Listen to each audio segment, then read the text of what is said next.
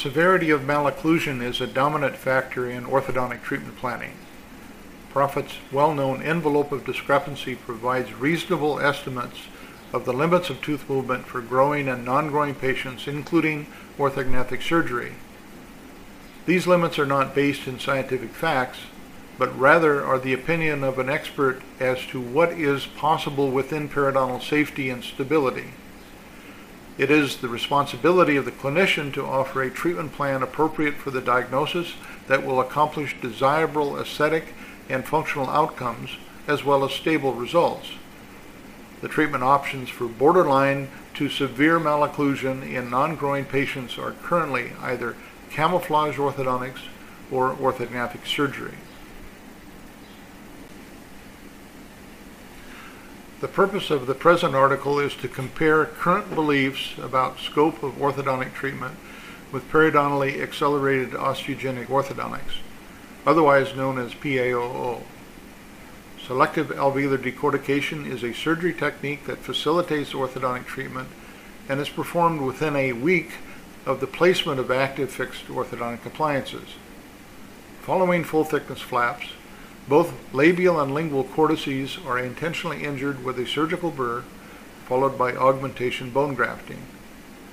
Trabecular bone density is immediately reduced, tooth movement is accelerated, and the dimension and therapeutic pliability of the alveolar base is increased, enabling greater range of tooth movement.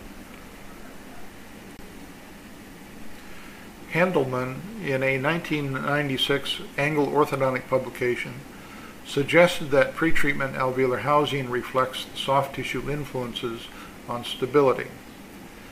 PAOO increases alveolar housing size through augmentation bone grafting. As described in the present article, PAOO treatment limits for incisors exceed the envelope of discrepancy described by Proffit for adult non-growing patients by two to three times in all dimensions except retraction. Excellent orthodontic care is based upon excellent diagnosis and treatment planning. With good treatment planning judgment, PAOO can be used to close 10 millimeter anterior open bites, 100% anterior deep bites, and severe arch width constrictions that exceed Proffit's envelope of discrepancy.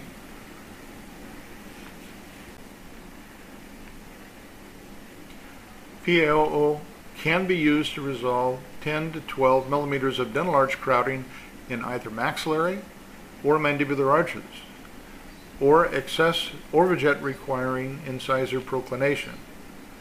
PAOO is appropriate for severe problems of the alveolar housing but is unable to resolve anterior posterior jaw disharmonies that grossly exceed alveolar size and therefore cannot replace orthognathic surgery.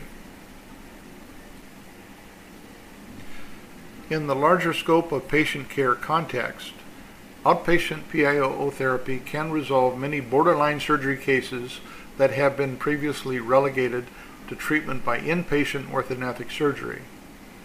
Compared to the non-growing adult patient, the scope of treatment by PAOO exceeds Proffit's envelope of discrepancy by two to three times for adults receiving orthodontic treatment only.